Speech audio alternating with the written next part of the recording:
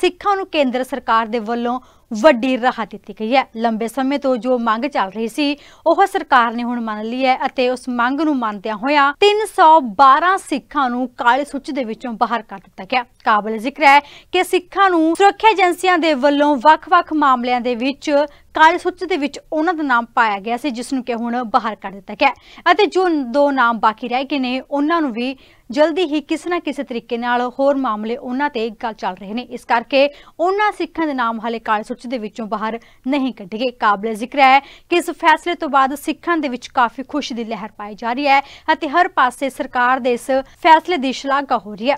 ਕਾਬਲੇ ਜ਼ਿਕਰ ਹੈ ਕਿ ਕਾਲੀ ਸੂਚੀ ਦੇ ਵਿੱਚੋਂ ਹੁਣ 312 ਸਿੱਖਾਂ ਦਾ ਨਾਮ ਹਟਾ ਦਿੱਤਾ ਗਿਆ, ਜੋ ਕਿ ਵਿਦੇਸ਼ੀ ਨਾਗਰਿਕ ਨੇ ਅਤੇ ਆਪਣੇ ਵਤਨ ਆਉਣ ਲਈ ਤਰਸ ਰਹੇ ਸਨ। ਪਰ ਹੁਣ ਉਹ ਆਪਣੇ ਵਤਨ ਆ ਸਕਦੇ ਨੇ ਅਤੇ ਉਹਨਾਂ ਨੂੰ ਆਸਾਨੀ ਦੇ ਨਾਲ ਵੀਜ਼ਾ ਮਿਲ ਸਕੇਗਾ। ਦੱਸ ਦਈਏ ਕਿ 2016 ਤੋਂ ਬਾਅਦ ਇਹਨਾਂ ਨੂੰ ਕਾਲੇ ਸੂਚੀ ਦੇ ਵਿੱਚ ਜਾਰੀ ਕੀਤਾ ਗਿਆ ਸੀ, ਜਿਸ ਕਰਕੇ ਸੁਰੱਖਿਆ ਏਜੰਸੀਆਂ ਦੇ ਵੱਲੋਂ ਇਹਨਾਂ ਦਾ ਨਾਮ ਕਾਲੀ ਸੂਚੀ ਦੇ ਵਿੱਚ ਪਾ ਦਿੱਤਾ ਗਿਆ ਸੀ। ਪਰ ਹੁਣ ਕੇਂਦਰ ਸਰਕਾਰ ਨੇ ਵੱਡਾ ਫੈਸਲਾ ਲੈਂਦੇ ਹੋਇਆ ਅਤੇ ਉਹਨਾਂ ਸਿੱਖਾਂ ਨੂੰ ਰਾਹਤ ਦਿੰਦਿਆਂ ਹੋਇਆ ਕਾਲੀ ਸੂਚੀ ਦੇ ਵਿੱਚੋਂ ਉਹਨਾਂ ਦਾ ਨਾਮ ਵਾਪਸ ਕਰ ਦਿੱਤਾ ਜਦਕਿ ਦੋ ਸਿੱਖ ਹਲੇ ਵੀ ਕਾਲੀ ਸੂਚੀ ਦੇ ਵਿੱਚ ਨੇ। ਸਰਕਾਰ ਨੇ ਆਂਦੇ ਸਰ ਪ੍ਰੋਮਿਸ ਵੀ ਕੀਤਾ ਸੀ ਕਿ ਅਸੀਂ ਕਾਲੀ ਸੂਚੀ ਹਟਾਵਾਂਗੇ ਔਰ ਲੋਕਾਂ ਨੂੰ ਆਣਾ ਜਾਣਾ ਆਸਾਨ ਹੋਏ।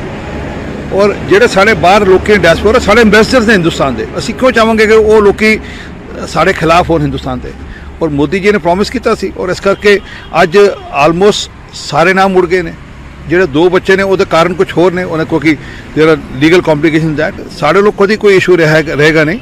ਔਰ ਸਾਡਾ ਇਹ ਹੈ ਕਿ ਜੋ ਵੀ ਸਿੱਖਾਂ ਦੇ ਇਸ਼ੂਸ ਨੇ, ਉਹ ਅਸੀਂ ਰਿਜ਼ੋਲਵ ਕਰਾਂਗੇ।